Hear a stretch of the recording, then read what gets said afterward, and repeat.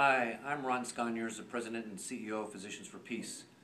As they say in Nigeria, compliments of the season. I just wanted to say thank you for your commitment to us this past year.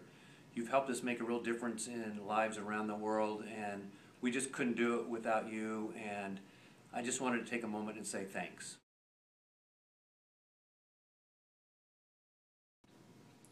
When I look back at this past year, I think of a couple of stories that really touched my heart, and I know they'll touch yours.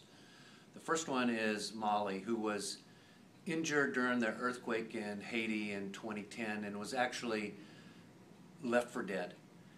But she was eventually found, but her both her spirit and her body were crushed. But thanks to Physicians for Peace volunteers who knew how better to take care of her injuries, they were able to give her renewed life and really lift up her spirits and help her become a more vibrant young woman. And today, when you look at her pictures and you see the smile on her face, you know what a great difference you have helped us make in her life.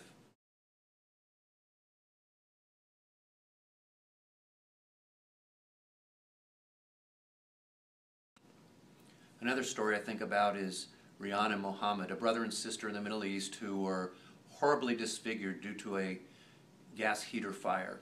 Unfortunately, the care providers there didn't have the capability to help them in their recovery.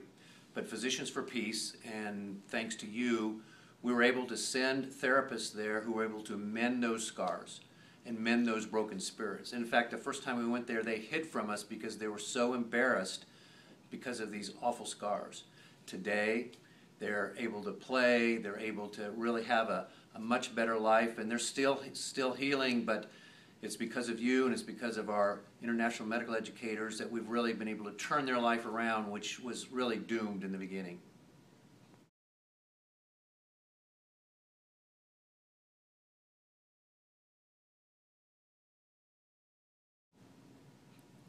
These are just two stories that happen every day throughout the world because of Physicians for Peace international medical educators. And these educators are there because of you and because of your dedication, your commitment, and your confidence in the work that we do. We want to thank you so much for having that confidence in us and being consistent supporters.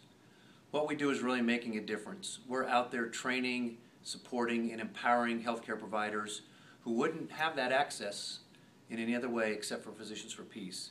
But we can only do it because of you, and so for that, I'm so grateful. We are all so grateful and most importantly, the providers we train and the patients that they heal are incredibly thankful to you.